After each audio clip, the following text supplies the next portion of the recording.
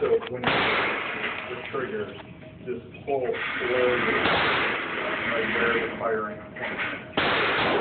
So the test, you know, when, when you really want to shot, you know, just in sure, it's gonna pull you off.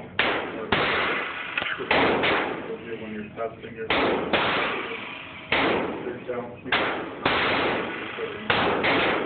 so that then the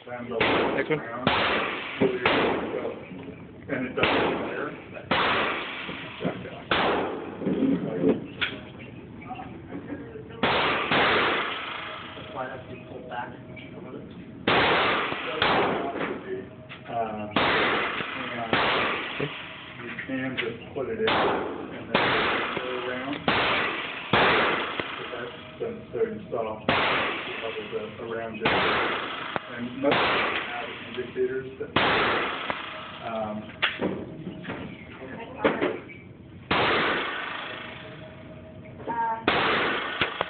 but, I mean, the, just at the range.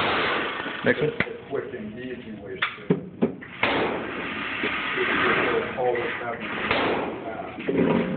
And then when you reach the slide, and just go for granted.